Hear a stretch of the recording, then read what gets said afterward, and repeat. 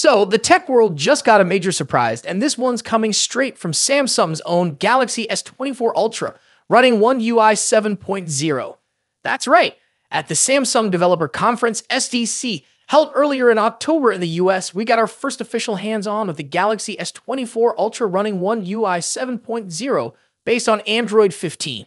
But things just took an even more interesting turn. Recently, a YouTuber managed to get their hands on an engineering sample of the Galaxy S24 Ultra, preloaded with this very one UI 7.0, and they uploaded a video showcasing the new changes and features. And not just any video, this is the high definition demo of One UI 7.0 in action. Now, this video initially slipped through the cracks when it was uploaded on October 22. In fact, it garnered less than 1,800 views in the first two days, which is honestly surprising considering the content it contains. However, that's likely about to change as more and more publications have started picking up on this and spreading the word. And with that comes the possibility of Samsung stepping in and filing a copyright claim to have the video taken down. Uh, the fact that this video exists raises some interesting questions. If Samsung didn't want anyone to see One UI 7.0 before its official release, why was the Galaxy S24 Ultra running left out of the open at the SDC event? We all know the Galaxy S25 series is set to officially debut with One UI 7.0 next year, so could this leak be a sign that Samsung is relaxed about people getting a sneak peek? Regardless of whether the video gets taken down, we've made sure to take screenshots of the key sections to give you a closer look at what's new. The screenshots are now available in our gallery below. Unfortunately, much of what we're seeing in this video has been teased before, so it doesn't offer too many brand new insights, but it's still worth checking out to see the latest in action. So what's new in One UI 7.0? Well, it's not just the design language that's been tweaked, it's the whole experience. Android 15 brings several performance and privacy improvements, and One UI 7.0 has been designed to take full advantage of those upgrades. From smoother animations to a more customizable interface, the overall experience feels fresh yet familiar. While the demo video doesn't reveal everything, we can expect features like enhanced multitasking, better integration of Samsung apps, and possibly new camera features given the hardware capabilities of the Galaxy S24 Ultra. As we look forward to the beta program for One UI 7.0, which should be going live in the coming months, it's great to get this sneak peek. And for those wondering if their device will be eligible for this update, Samsung has yet to release an official list.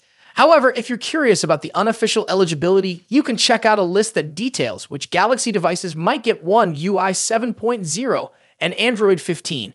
Whether the YouTuber's video remains online or not, this early glimpse of One UI 7.0 gives us an exciting look at what Samsung has in store for its next generation devices. The Galaxy S25 series may still be a few months away, but the hype is already starting to build with leaks like this. So, what do you think about this sneak peek? Are you looking forward to trying out One UI 7.0? Let us know in the comments below. Samsung has finally removed all doubts about a new Galaxy Z Fold model arriving this year. If the leaks hadn't convinced you yet, today's announcement confirms it. The Galaxy Z Fold Special Edition is real and it's arriving soon. But now, the big question is how does this special edition differ from the Galaxy Z Fold 6, which was released just a few months ago? One of the first differences between these two foldables is their availability. While the Galaxy Z Fold 6 is available in various markets around the world, the special edition might be harder to get. Samsung has only announced it in South Korea so far, with plans for it to reach China next. If you're in the West or other regions where the Galaxy Z Fold 6 is sold, you may not see this special edition on store shelves anytime soon. Samsung describes the special edition as the thinnest and lightest Galaxy Fold ever made.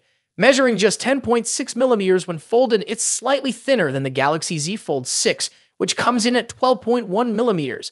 Additionally, it weighs 236 grams compared to the Fold 6 239 grams.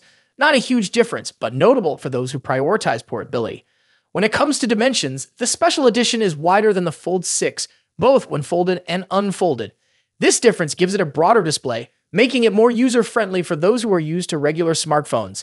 The unfolded dimensions of the special edition are 157.9 142.6 x 4.9 millimeters, while the Fold 6 measures 153.5 x 132.6 x 5.6 millimeters. The wider design also leads to different aspect ratios. The Special Edition boasts a 2018 aspect ratio for its main display, while the Fold 6 uses a more traditional 4 to 3 ratio. This wider layout offers a slightly better experience for tasks like multitasking or viewing content. Samsung hasn't revealed much about any potential upgrades to the displays. However, we do know the special edition has an 8.0 inch main display and a 6.5 inch cover screen. In comparison, the Fold 6 has a 7.6 inch main display and a 6.3 inch cover screen. Both phones likely support 120 Hz refresh rates, but Samsung hasn't confirmed this. In terms of durability, the special edition is made with Gorilla Glass Victus 2 for extra protection and features a distinctive stripe pattern on the back. Its frame is made from armor aluminum, ensuring it stays tough against everyday wear and tear. One surprising difference is the lack of S Pen support on the Galaxy Z Fold Special Edition. Samsung confirmed this on their South Korean store page. On the other hand, the Galaxy Z Fold 6 does support the S Pen, making it the better choice for fans of Samsung's iconic stylus, even though it requires a separate purchase and doesn't have a built-in slot for storage. If the S Pen isn't a priority for you, the special edition might still be appealing, but it's worth considering this omission before making a decision. Both phones pack serious power under the hood. They share the Snapdragon 8 Gen 3 for Galaxy chipset, which first appeared in the Galaxy S24 Ultra. This powerful chip ensures that both devices can handle demanding tasks with ease. However, the special edition stands out by offering 16 gigabytes of RAM as standard, whereas the Fold 6 comes with 12 gigabytes. This extra RAM helps the special edition manage tasks like Galaxy AI more efficiently. The special edition also ships with 512 gigabytes of internal storage, whereas the Fold 6 gives you options of 256 gigabytes, 512 gigabytes, or 1 TB. As for the battery, both models have a 4400 mAh unit, although Samsung hasn't mentioned if charging speeds differ between them. One of the most notable upgrades on the Special Edition is the primary camera. The Special Edition is equipped with a 200 megapixel main camera compared to the 50 megapixel sensor on the Fold 6. This upgrade is significant and could be a game changer for those who prioritize photography on their foldable device. Other camera specs remain similar across both devices, including the telephoto lens and the 4 megapixel under panel camera. The Special Edition also has an advantage when it comes to connectivity as it supports Wi Fi 7. This feature is only found on a few other Samsung devices like the Galaxy S24 Ultra, while the Fold 6 tops out at Wi Fi 6E. Now, what about the price?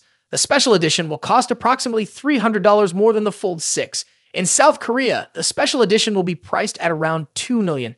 789,601 or $2,036, while the 512 gigabytes Fold 6 goes for 2,388,101 or $1,743.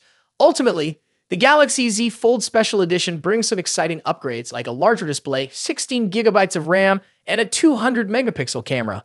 But if S Pen support is important to you, the Galaxy Z Fold 6 might still be the better choice. Either way, both of these foldables are top tier devices, each with its own